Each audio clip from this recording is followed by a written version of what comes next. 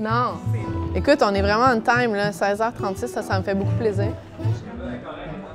Ce soir, c'est le dernier spectacle de ma tournée euh, du premier album. Là, j'ai choisi le Centre Phi. J'ai choisi un show qui est intime. Je suis assise au piano, puis les gens sont là, là. Et je les entends respirer. Puis ça, je trouve ça chouette. Vraiment. Hey, c'est vraiment beau. On dirait un MTV. Quand je me suis assise au piano, puis j'ai joué les premières notes, je me suis sentie soulevée. Ouais. Émue.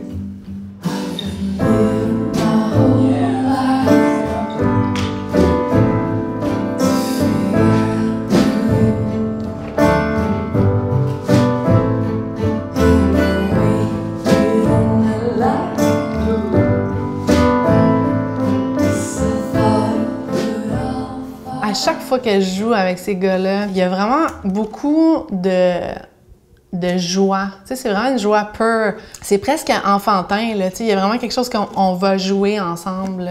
On se regarde, puis on est comme « Ah oui! » Tu sais, c'est le fun. Il y a vraiment un gros fun.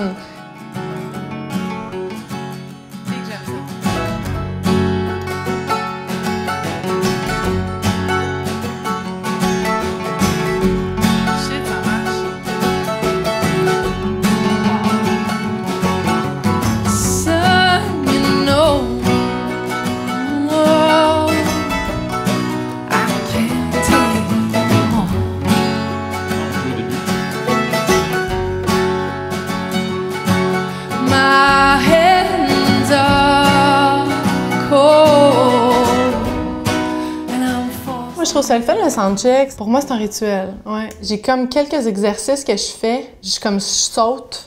Puis ça, on dirait que ça, ça génère comme un enthousiasme. Puis après ça, je, je vais m'asseoir sans doute au moins cinq minutes euh, à terre pour me grounder.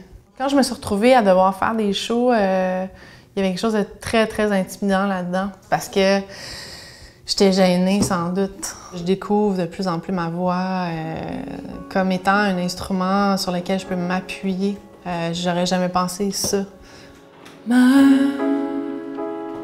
si tu oublies que tu t'oublies,